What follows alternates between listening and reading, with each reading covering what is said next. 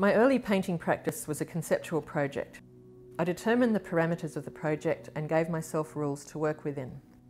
For example, I numbered the works rather than give them descriptive titles and I only painted decorative motifs.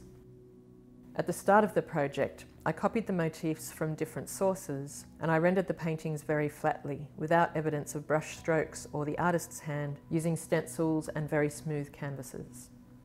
I considered the entire project an artwork rather than the individual paintings within it.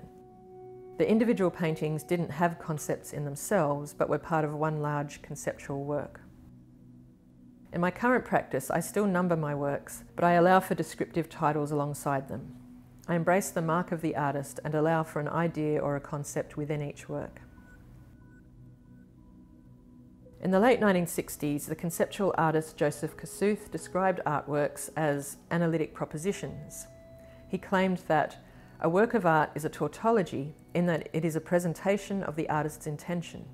That is, he is saying that a particular work of art is art which means is a definition of art. To Kosuth, this rendered aesthetics extraneous to art. He claimed that all art after Duchamp is conceptual in nature because art only exists conceptually. Theorist and curator Lucy Lippard described conceptual art as work in which the idea is paramount and the material form is secondary, lightweight, ephemeral, cheap, unpretentious and or dematerialized. Her definition gave a sense of the opening of art in the conceptual moment to all types of media and practices, and a desire to make art available to all. Contemporary art, or art of the current moment, is frequently viewed as having been determined by the results of the conceptual movement. In this state of openness, to come up with a unique concept for an artwork can be difficult. For me, the concept of a work of art relates to what you're making art about, or why you're making art at all. A work can look conceptual or be conceptual in style if it employs characteristics typical of the conceptual movement. For example, if it uses ephemeral media, if it's minimal or invisible, or if it contains a lot of text. I made this work in 1997. It was a series of faxes I sent to the curator George Hubbard, which he hung on the wall of an artist-run space called Spot for a one-night exhibition. Conceptual artist Lee Lozano gave up being an artist as an artwork with her dropout piece from 1972. In 2015, I reperformed Lozano's 1971 work, Decide to Boycott Women, at Marrickville Garage Gallery in Sydney.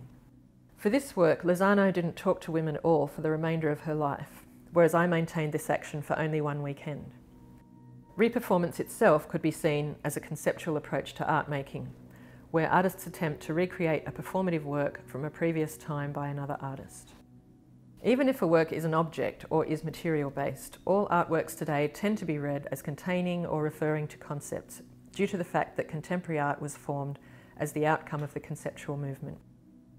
As a result of opening the boundaries of my work and my current project, I now allow personal themes or references to myself as the artist in my works. I sometimes use dreams as a starting point for making artworks. This work, number 67, Cape for My Guru, was made after my yoga teacher came to me in a dream and thanked me for the cape I made him. This work, number 62, Josie 2, is an abstract portrait of my grandmother Josie. I made this work, number 60, Thesis 2, when I was writing my PhD thesis. The weaving is a self-portrait of me writing my thesis, trying to convey the meaninglessness that words tend to take on during the writing process. Dreams and personal situations can be useful as a concept. Although they're quite basic, simple ideas are often quite generative. I've kept an archive of videos and photographs of myself making art over the years. To me, it's interesting to think of artists' practices as performative, where the very act of being an artist and making work could be considered itself as an artwork. With this in mind, I've developed a concept to make a video of myself making a recent weaving, number 97 Bauhaus Weaving 3. Every minute I took a photo of myself in the studio using surveillance software on my iPad while I was making this weaving. I plan to edit the shots together to form a time-lapse video of this activity. The time-lapse footage will appear on one side of the screen or as one channel of the video. I also filmed one day of my activity while I made this work. I strapped a GoPro to my chest, to get real-time footage of my hands working on the weaving or doing other tasks around the studio. This footage will appear on the other side of the screen or channel. I'm hoping this work will reference the idea of art practice as performative, or of practice as an artwork in itself. This concept developed from my interest in reality TV, as well as from theorisations of art as a depiction of reality through the modern era, and the break with that development in the current moment.